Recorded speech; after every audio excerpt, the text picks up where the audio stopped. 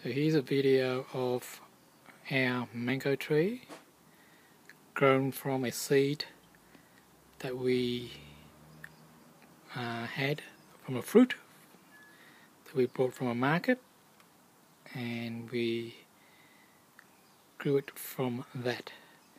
This is in Melbourne. The tree's around 175 to 180 centimeters tall.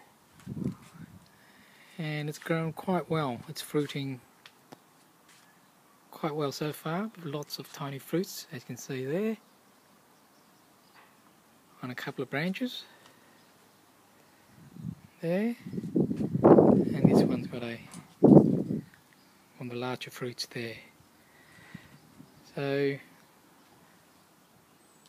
mangoes can be grown in Melbourne if you do look after it. And hopefully these will fruit successfully. Uh, I believe they're a imported mango uh, variety from Thailand I believe. So give it a go. You can grow mango tropical mangoes in Melbourne